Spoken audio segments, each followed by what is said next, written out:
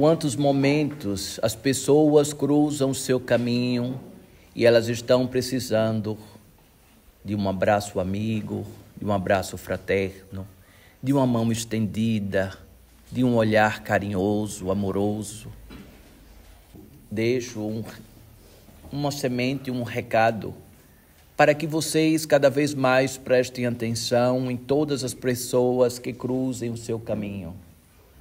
Muitas vezes são pessoas que estão precisando do seu olhar amoroso, do seu olhar empreendendo as melhores energias positivas, energias de cura, intenções reais, benéficas e não olhares julgadores. Peço que você olhe nos olhos e visualize Deus dentro dos olhos, enxergando todos os erros, acertos, todo o caminho percorrido até chegar aqui, visualizando todas as dores, todos os pedregulhos,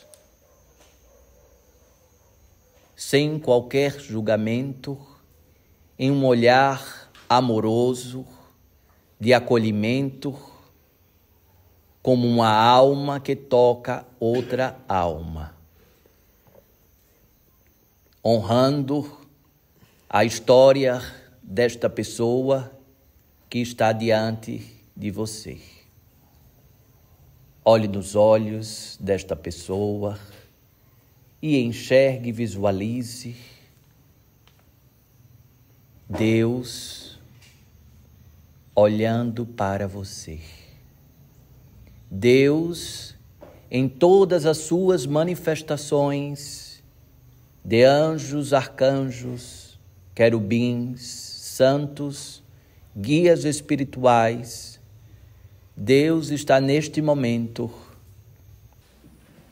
em cada abraço, que dentro de cada abraço, tenha uma semente divina em todos os abraços em que vocês possam dar.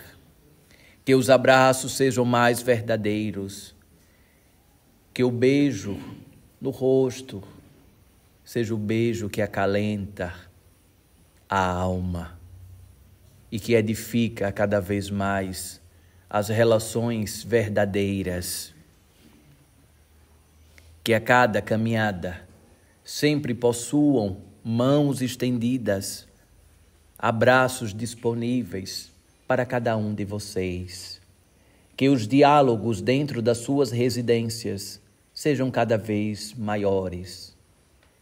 Que os silêncios, que os abismos que existem dentro das residências com seus parentes, entes queridos, sejam neste momento construídos pontes para que vocês consigam ter livre acesso e que as outras pessoas tenham livre acesso a você, por meio de palavras verdadeiras, atitudes verdadeiras, empreendendo sempre as diretrizes divinas, não em busca da perfeição, porque Jesus não deixou o caminho dentro desse educandário para a perfeição mas Jesus deixou diretrizes para que cada ser aqui encarnado, dentro das suas provações encarnatórias, resplandecesse todos os rogativos do equilíbrio existencial, principalmente vivenciasse a magnitude do amor próprio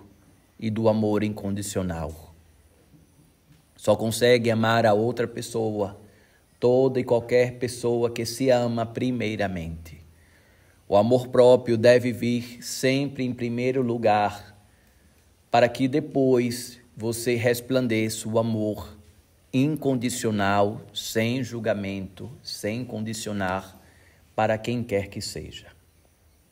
Tome em conta cada vez mais dos seus adolescentes e das suas crianças muitas vezes não são compreendidas diante das suas necessidades reais. Deem menos eletrônicos para as crianças e para os adolescentes. Permitam que o despertar das crianças e dos adolescentes sejam com brincadeiras de crianças e com brincadeiras de adolescentes.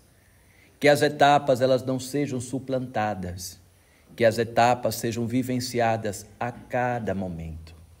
E que cada um de vocês desperte sempre a possibilidade de servir ao outro e à coletividade. Cada um sempre pode dar um pouco para o coletivo. Voluntariamente, gratuitamente, sempre pode se associar a auxiliar o coletivo ao outro. Do seu pão, dividindo para com quantas pessoas precisarem. Do seu conhecimento, compartilhando com tantas e tantas pessoas que precisarem. Lembrando, caríssimos, que vocês são estruturas importantíssimas dentro do projeto divino. Não desistam de vocês.